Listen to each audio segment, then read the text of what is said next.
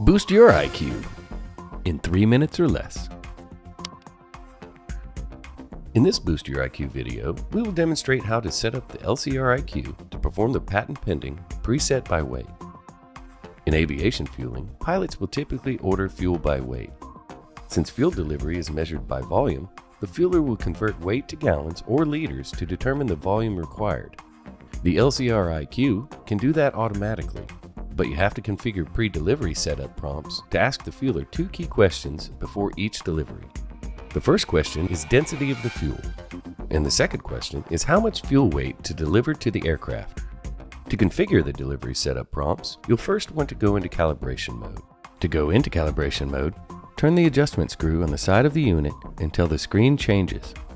Just a few turns should do this. Now, go to Setup menu.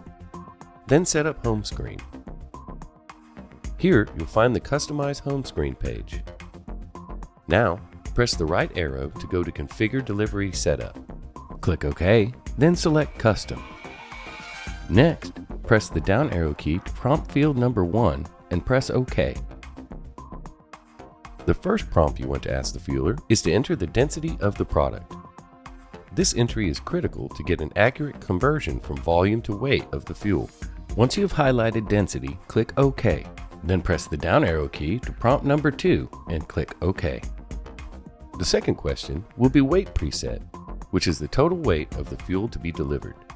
Once you have weight preset highlighted, click OK. Once you have those settings configured, go out of calibration mode and back to the setup menu.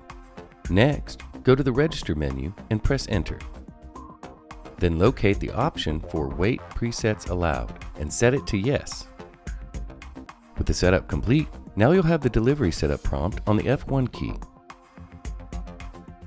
Prior to a new delivery, hit Setup Delivery, enter the fuel density. In this case, we'll enter 6.8 pounds per gallon. Then click OK. Next, enter your weight preset, which is your total desired fuel weight that you want to deliver to the aircraft. In this case, we'll say 3,000 pounds of fuel. If your detail screen is set up as such, you'll see the conversion reflected in the gross preset to be 441 gallons of fuel. You can now start your fueling process and the transaction will end at 441 gallons delivered, a total of 3,000 pounds of fuel. Boost your IQ in three minutes or less.